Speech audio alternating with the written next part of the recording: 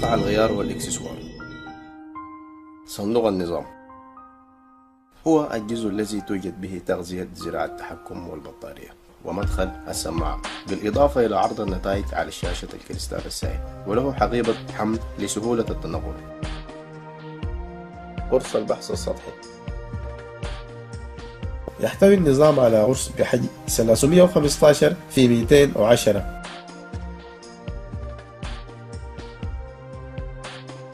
يعمل على تقديم النتائج من خلال اللمبات الموجودة في القسم الأعلى لزراعة التحكم.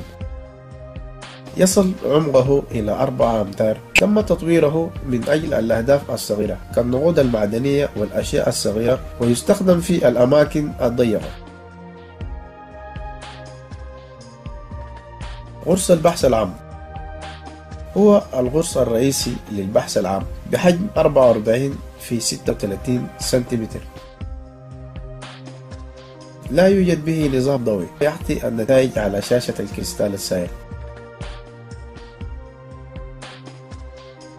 يستخدم هذا الغرس مع نظام الشاشة فقط. غرس البحث العميق.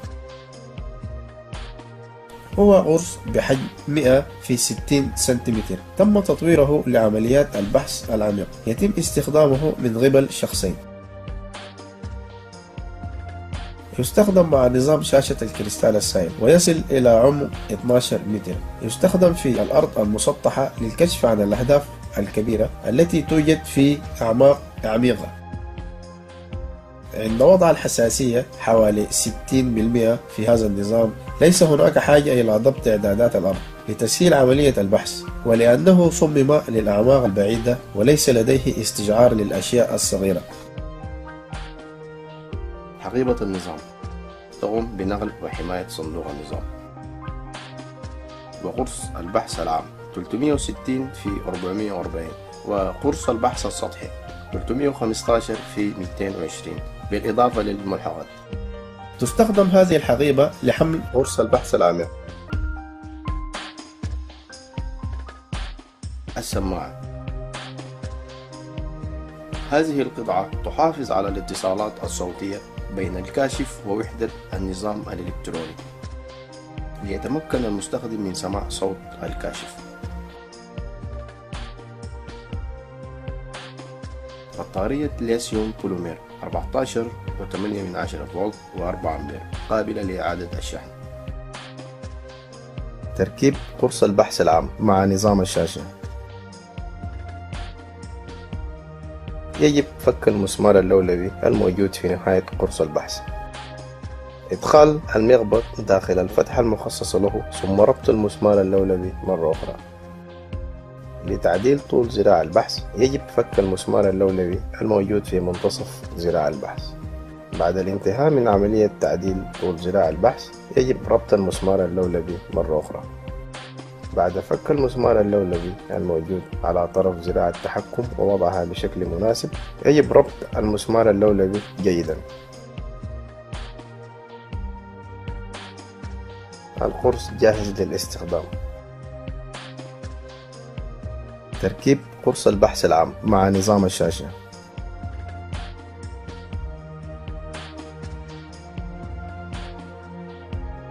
فتح حقيبة النظام وإخراج صندوق النظام.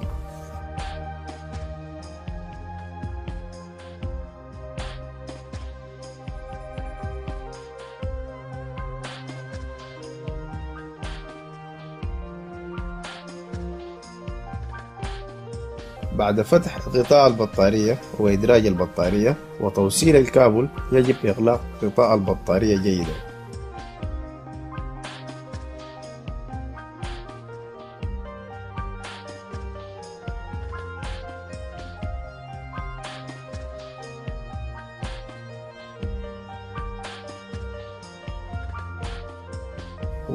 صندوق النظام داخل الحقيبة المخصصة له وإغلاق الحقيبة جيدا.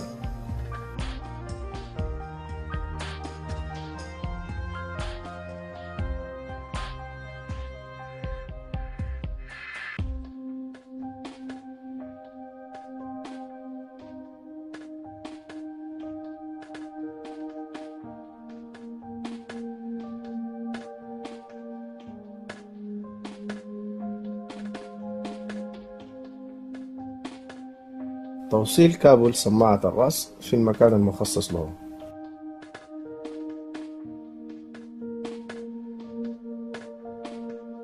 توصيل كابل قرص البحث في المكان المخصص له في صندوق النظام بحيث تتناسب وصلة الكابل مع وصلة صندوق النظام.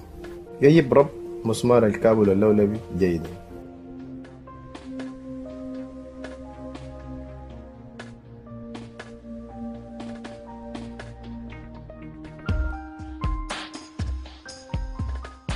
فتح حقيبة النظام. النظام جاهز للاستخدام. تركيب قرص البحث العميق مع نظام الشاشة.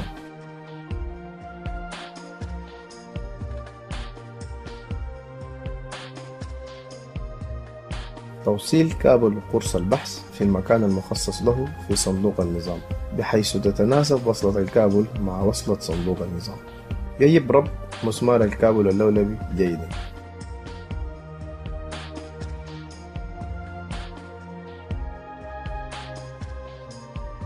فتح حقيبة النظام. النظام جاهز للاستخدام. تركيب قرص البحث السطحي.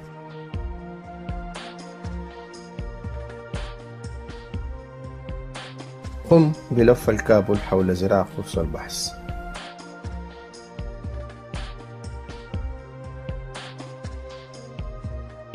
فك المسمار اللولبي الموجود في نهاية ذراع قرص البحث. يجب إدخال ذراع البحث في المكان المخصص لها. يجب ربط مسمار الكابل اللولبي جيدا. فك المسمار اللولبي لإطالة ذراع البحث. بعد ضبط طول الذراع يجب ربط المسمار جيدا. بعد فك المسمار اللولبي الموجود على طرف ذراع التحكم ووضعها بشكل مناسب يجب ربط المسمار مرة أخرى جيدا.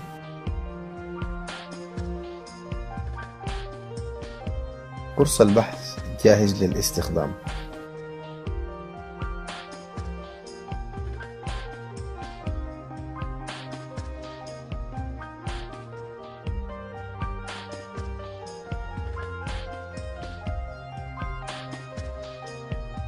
فتح حقيبة النظام وإخراج صندوق النظام.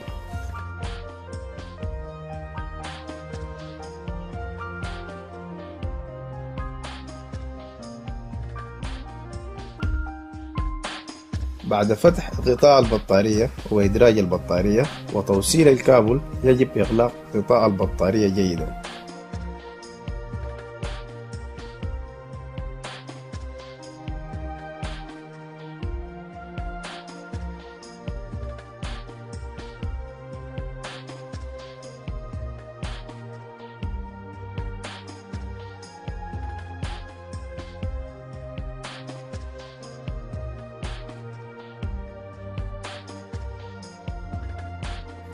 صندوق النظام داخل الحقيبة المخصصة له وإغلاق الحقيبة جيدا.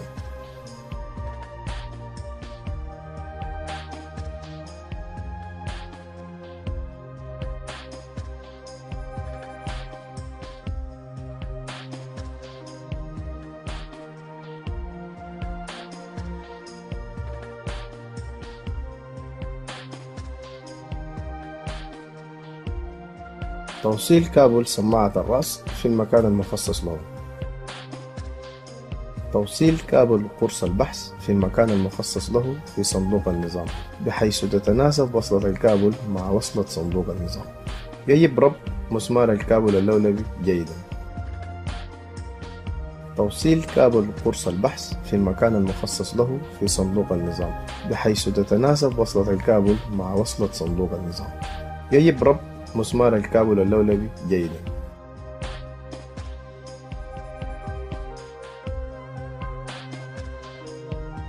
النظام جاهز للاستخدام.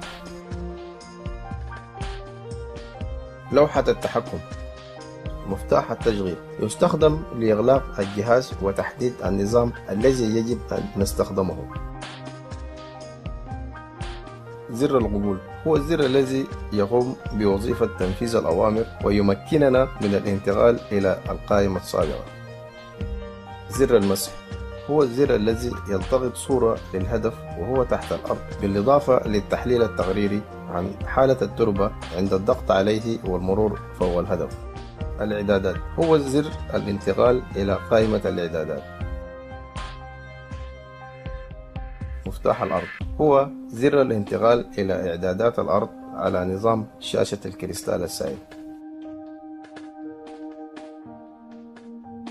زر الحفظ. هو زر حفظ التقارير التحليلية في قسم التقارير. زر العمق. هو زر تحليل العمق والحصول على صورة ثلاثية الأبعاد على الشاشة. زر ناقص. زر زائد زر ريسيت هو زر إعادة تعيين كافة إعدادات الجهاز الافتراضية عند الضغط عليه يقوم الجهاز بإرجاع كافة الإعدادات إلى آخر وضع كانت عليه. زر الأرض هو زر الانتقال إلى ضبط التربة بالنظام الضوئي. زر الحساسية. هو الوضع الذي يستخدم في النظام الضوئي لضبط الحساسية بالنظام الضوئي. زر الضوء. زر ضبط مستوى الإضاءة في النظام الضوئي. زر الصوت. هو الذي يقوم بضبط الصوت في النظام. المصابيح التي تشير إلى مستوى شحن البطارية في النظام الضوئي. المصابيح التي تشير إلى مستوى الحساسية بالنظام الضوئي. عندما يشير الصمام إلى أنه في واحد من هذه السياق الصوت أو الحساسية أو الضوء أو التربة يجب الخروج من هذه السياقة قبل عملية البحث.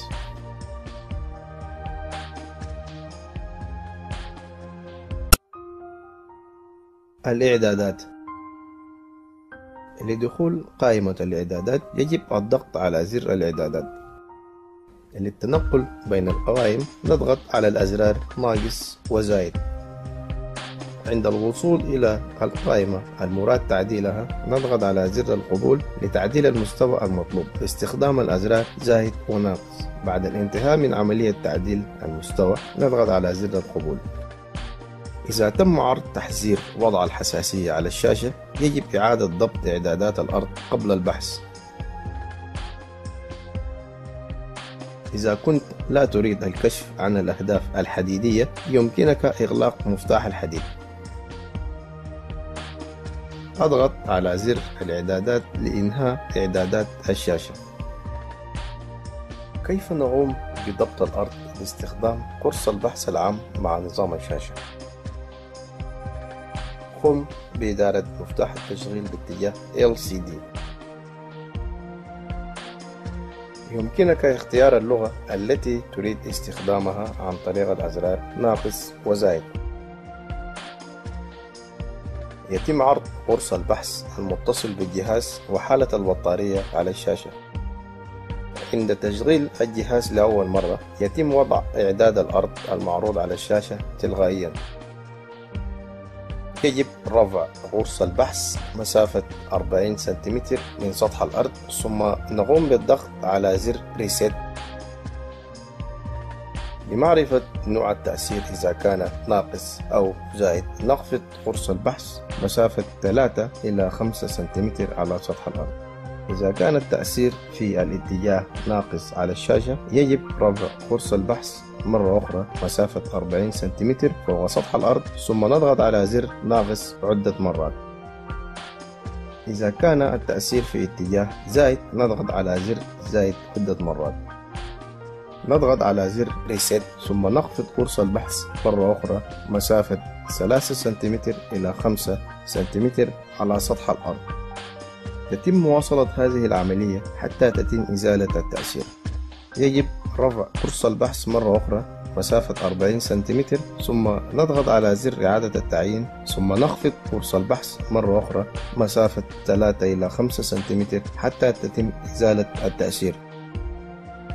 بعد الانتهاء من إزالة التأثير يجب رفع قرص البحث مسافة 8 إلى 10 سنتيمتر من سطح الأرض ثم أضغط على زر القبول للانتقال لوضع البحث. إجراء البحث بغرس البحث العام مع نظام شاشة الكريستال السائل. أثناء عملية البحث يجب رفع غرص البحث مسافة 8 ل 15 سنتيمتر بشكل موازي لسطح الأرض. يتم البحث من خلال تحريك غرص البحث إلى اليمين واليسار بحركة متوسطة.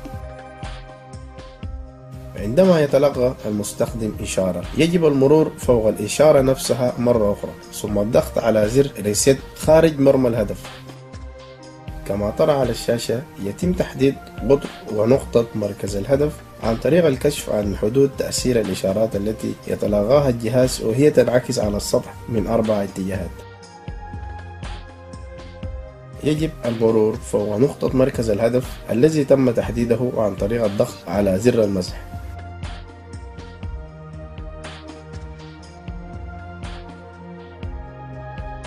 تظهر قوة الإشارة المنعكسة من الهدف معدن غير غيم. تحديد العمق بقرص البحث العام مع نظام الشاشة. نحتاج لتحديد قطر الهدف من بداية التأثير الذي ينعكس على السطح. كما نرى على الشاشة في المثال كيف يتم تحديد قطر الهدف ونقطة مركز الهدف عن طريق الكشف عن حدود تأثير الإشارة التي يتلقاها قرص البحث التي تنعكس على السطح في أربع اتجاهات. عند تحديد أقطار الهدف يجب استخدام جانبين قرص البحث فقط وعدم استخدام الجانب الأمامي أو الجانب الخلفي للقرص. للدخول في قائمة العمق يجب الضغط على زر العمق. يجب إدخال مقاسات الهدف في مكانها الصحيح طولا وعرضا. لإدخال مقاس العرض من خلال تحويل لون المؤشر الأصفر إلى الأخضر وذلك بالضغط على زر القبول. لإنهاء التنشيط نضغط على زر القبول مرة أخرى. الانتقال إلى إطار طول الهدف عن طريق زر زايد ثم تفعيل الإطار بالضغط على زر القبول. أدخل مقاس الطول في إطار الطول باستخدام أزرار ناقص وزايد. نضغط على زر المسح باستمرار ثم نمر من فوق الهدف.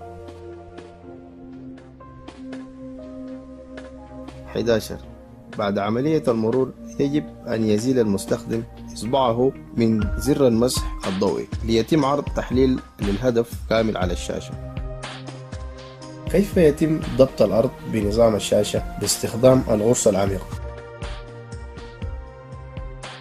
قم بإدارة مفتاح التشغيل باتجاه LCD يمكنك اختيار اللغة التي تريد استخدامها عن طريق الأزرار ناقص وزائد يتم عرض قرص البحث المتصل بالجهاز وحالة البطارية على الشاشة. عند تشغيل الجهاز لأول مرة يتم وضع إعداد الأرض المعروض على الشاشة تلقائيا يجب رفع غرص البحث مسافة 40 سنتيمتر من سطح الأرض ثم نقوم بالضغط على زر ريسيت لمعرفة التأثير إذا كان تأثير ناقص أو زايد. نخفض غرص البحث مسافة 8 إلى 10 سنتيمتر موازي لسطح الأرض. إذا كان التأثير في الاتجاه ناقص على الشاشة يجب رفع قرص البحث مرة أخرى مسافة 40 سنتيمتر فوق سطح الأرض ثم نضغط على زر ناقص عدة مرات. إذا كان التأثير في اتجاه زايد نضغط على زر زايد عدة مرات. بعد الضغط على زر reset نخفض قرص البحث مرة أخرى مسافة 8 إلى 10 سنتيمتر. تستمر هذه العملية حتى تتم إزالة التأثير. نرفع قرص البحث مرة أخرى مسافة 40 سنتيمتر من سطح الأرض ثم نضغط على زر reset ثم نخفض القرص مرة أخرى مسافة 8 إلى 10 سنتيمتر. نرفع قرص البحث مسافة 25 إلى 15 سنتيمتر ثم نضغط على زر القبول للانتقال إلى وضع البحث. إجراء البحث بنظام شاشة الكريستال السائل مع غرص البحث العميق. في أثناء عملية البحث يحمل غرس البحث العميق عن طريق شخصين بمسافة 15 إلى 25 سنتيمتر موازي لسطح الأرض. عندما يتلقى المستخدم إشارة يجب المرور فوق الإشارة نفسها مرة أخرى ثم الضغط على زر ريسيت خارج مرمى الهدف. كما ترى على الشاشة كيف يتم تحديد قطر ونقطة مركز الهدف عن طريق حدود تأثير الإشارات التي يتلقاها القرص والتي تنعكس على السطح في أربع اتجاهات؟ يجب الضغط على زر ريسيت بعد كل عملية بحث وذلك للكشف عن المؤشرات الصحيحة تظهر قوة الإشارة المنعكسة من الهدف معدن غير غيم.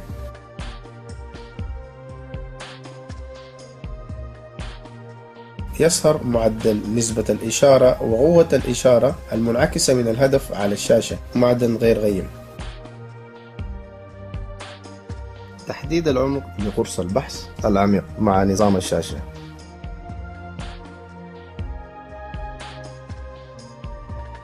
نحتاج لتحديد قطر الهدف من بداية التأثير الذي ينعكس على السطح. كما نرى على الشاشة في المثال كيف يتم تحديد قطر الهدف ونقطة مركز الهدف عن طريق الكشف عن حدود تأثير الإشارة التي يتلقاها قرص البحث التي تنعكس على السطح في أربع اتجاهات. عند تحديد أقطار الهدف يجب استخدام جانبين قرص البحث فقط وعدم استخدام الجانب الأمامي أو الجانب الخلفي للقرص للدخول في قائمة العمق يجب الضغط على زر العمق. يجب إدخال مقاسات الهدف في مكانها الصحيح طولا وعرضا. لإدخال مقاس العرض من خلال تحويل لون المؤشر الأصفر إلى الأخضر وذلك بالضغط على زر القبول. لإنهاء التنشيط نضغط على زر القبول مرة أخرى. الانتقال إلى إطار طول الهدف عن طريق زر زايد ثم تفعيل الإطار بالضغط على زر القبول. أدخل مقاس الطول في إطار الطول باستخدام أزرار ناقص وزايد. نضغط على زر المسح باستمرار ثم نمر من فوق الهدف. 11 بعد عملية المرور يجب أن يزيل المستخدم إصبعه من زر المسح الضوئي ليتم عرض تحليل للهدف كامل على الشاشة. تسجيل تقرير تحليلي. بعد تلقي التقرير التحليلي أضغط على زر التسجيل مرة واحدة لحفظ هذا التقرير. يتم تسجيل التقرير التحليلي على هذا النحو. يتم عرض عدد قياسي ورسالة موافقة على الشاشة.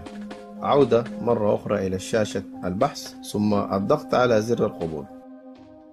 تسجيل تقرير تحليل العمق.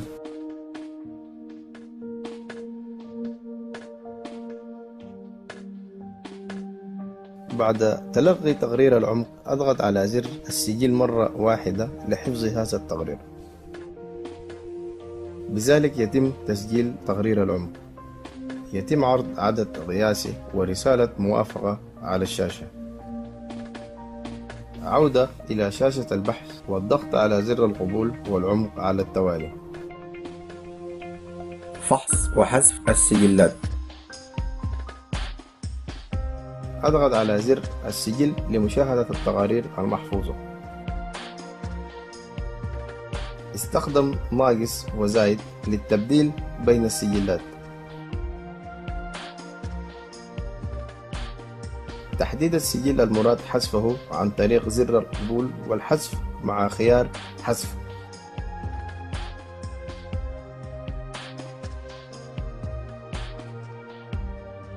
إنهاء شاشة التسجيل بالضغط على زر السجل. كيف يتم ضبط الأرض بالنظام الضوئي؟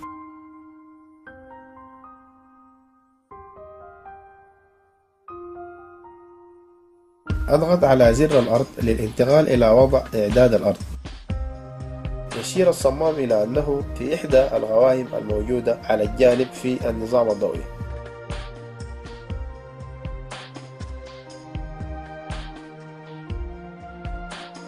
يجب رفع غرص البحث مسافة 40 سنتيمتر من سطح الأرض ثم الضغط على زر ريسيت يجب معرفة التأثير على أرض الواقع إذا كان في اتجاه ناقص أو زايد. يجب خفض غرص البحث مسافة 3 إلى 5 سنتيمتر من سطح الأرض.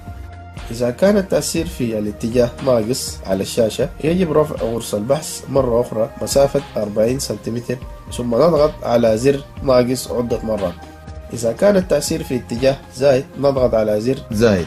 بعد الضغط على زر ريست نخفض غرص البحث مرة أخرى من 3 إلى 5 سنتيمتر. تتم مواصلة هذه العملية حتى يتم إزالة التأثير.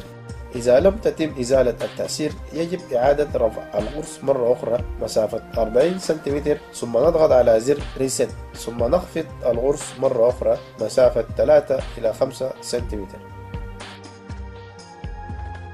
بعد رفع غرس البحث مسافة 8 إلى 15 سنتيمتر أضغط على زر الأرض للانتقال إلى وضع البحث. البحث باستخدام النظام الضوئي. أثناء عملية البحث يجب رفع غرس البحث مسافة 8 ل 15 سنتيمتر بشكل موازي لسطح الأرض يتم البحث من خلال تحريك غرس البحث إلى اليمين واليسار بحركة متوسطة. عندما يتلقى المستخدم إشارة يجب المرور فوق الإشارة نفسها مرة أخرى ثم الضغط على زر ريست خارج مرمى الهدف. كما ترى على الشاشة كيف يتم تحديد قطر ونقطة مركز الهدف عن طريق حدود تأثير الإشارات التي يتلقاها الغرس والتي تنعكس على السطح في أربع اتجاهات؟ يجب المرور فوق نقطة مركز الهدف الذي تم تحديده عن طريق الضغط على زر المسح إذا كانت اللمبات في اتجاه المعادن الغير حديدية واللمبة الموجودة في منتصف الشاشة مطفاة هذا يعني أن الهدف هو من المواد الحديدية. يجب الضغط على زر ريست بعد كل عملية بحث وذلك للكشف عن مؤشرات صحيحة. يجب تحديد القطر ونقطة مركز الهدف عن طريق الكشف عن حدود تأثير الإشارات التي يتلقاها قرص البحث ثم تتم عملية تحديد الهدف من أربع اتجاهات. يجب المرور فوق نقطة مركز الهدف الذي تم تحديده عن طريق الضغط على زر المسح. إذا كانت معادن غير حديدية تضيء اللمبات الموجودة على الجانب الأيسر من ذراع التحكم وهذا يعني أن الهدف هو من المعادن الثمينة إذا أضاءت لمبة المواد الغير حديدية بشكل متزامن مع لمبات المواد المعدنية في هذه الحالة قد يكون الهدف نوع من معدن الصلب. يجب تحديد قطر ونقطة مركز الهدف. يجب المرور فوق نقطة مركز الهدف الذي تم تحديده عن طريق الضغط على زر المسح. إذا كانت اللمبات في اتجاه المعادن الغير حديدية واللمبة الموجودة في منتصف الشاشة مطفاة هذا يعني أن الهدف هو من المواد الحديدية. إذا أضاءت لمبات الفراغ الموجودة على الجانب الأيسر من ذراع التحكم هذا يعني أن الهدف هو فراغ. يجب تحديد قطر ونقطة مركز الهدف. يجب المرور فوق نقطة مركز الهدف الذي تم تحديده عن طريق الضغط على زر المسح.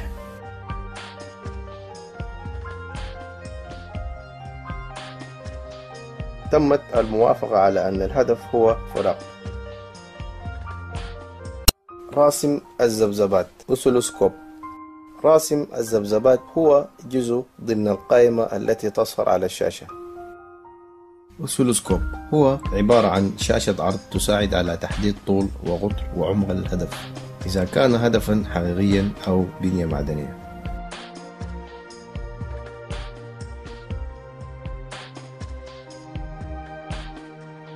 يساعد في الكشف عن الأهداف الصغيرة الموجودة على السطح. يساعد في الكشف عن المعادن الصغيرة الموجودة في السطح والعميقة قليلا. يساعد في اكتشاف الأهداف المعدنية الصغيرة في السطح وعميقة قليلا. يساعد في اكتشاف الأهداف الكبيرة القريبة من سطح الأرض. لا يؤخذ بعمق راسم الذبذبات عندما يرسم الرسوم البيانية بهذه الطريقة. النتيجة التي يمكن الحصول عليها لن تكون صحيحة. الكشف عن أهداف كبيرة في أعماق قريبة من السطح. الكشف عن أهداف كبيرة في أسطح عميقة جدا. اكتشاف تجويف قريب من السطح. لا يؤخذ بعمق راسم الذبذبات عندما يرسم الرسوم البيانية بهذه الطريقة. النتيجة التي يمكن الحصول عليها لن تكون صحيحة. الكشف عن تجويف عميق في سطح قليل. الكشف عن تجويف عميق في سطح عميق.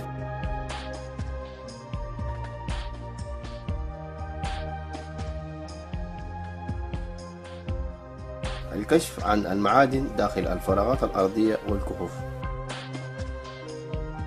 إذا كان خط رسم الذبذبات مستقيما تم الكشف على بنية معدنية.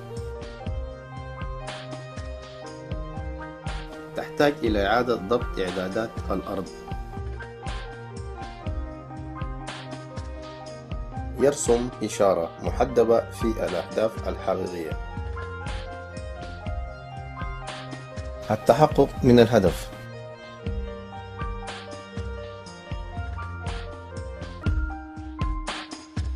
يجب تحديد الهدف على أرض الواقع وذلك للتحقق إذا كان الهدف هو هدف حقيقي أو فراغ أرضي أو هيكل معدني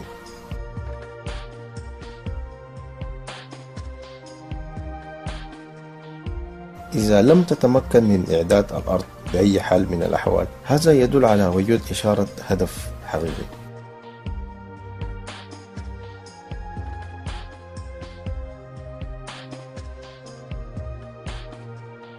نقاط يجب أن تؤخذ في الاعتبار أثناء عملية الحفر. يجب أن يكون الحفر بقدر طول إشارة الهدف من أجل الوصول إلى الهدف وتحديد الهدف وعدم تأثر قرص البحث من جانبين الأرض ليتم التحقق مرة أخرى. إجراء الحفر بصورة أكبر تضمن الوصول إلى نتائج سليمة من أجل إجراء مسح صحيح بمنطقة البحث. يجب إعادة تعديل ضبط الأرض عند تغيير منطقة البحث. يجب تعديل إعدادات الأرض بجانب الهدف بحيث لا يكون هناك هدف لأن ضبط إعدادات الأرض لا يتم فوق الهدف.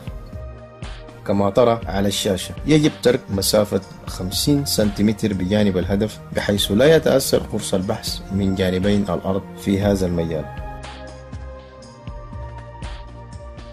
بذلك يتم التحقق من عمق الهدف. الهدف الأساسي من التنغيب بهذه الطريقة هو الوصول إلى مصدر إشارة الهدف. تزداد قوة إشارة الهدف كلما اقتربنا من الهدف. يجب مشاهدة قوة الإشارة والذبذبات من خلال الأعمدة والأسلوسكوب الموجودة على الشاشة. إذا لم تكن إشارة الهدف قوية هذا يعني أنها إشارة بنية معدنية.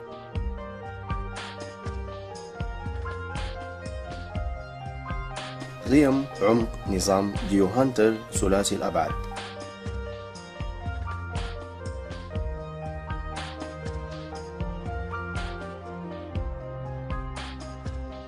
الأرقام المذكورة أعلى لا تتسبب في إحداث مجالات مغناطيسية بعد عملية اختيار المعادن الجديدة تنمو مع زيادة العمق في النسب المعروضة على القائمة. إذا زادت أبعاد المعدن بالنسبة للمعادن الموجودة تحت الأرض خلال سنين طويلة تحدث مجالات مغناطيسية بمرور الزمن. وهذه المجالات المغناطيسية تقوم بإرسال إشارات كأنها الأجهزة المرسلة لهذه الإشارات. لذلك اللاقط الهوائي المستخدم في عملية البحث يوفر إمكانية اكتشاف نفس الهدف في أعماق أكثر من 3 إلى 4 أضعاف.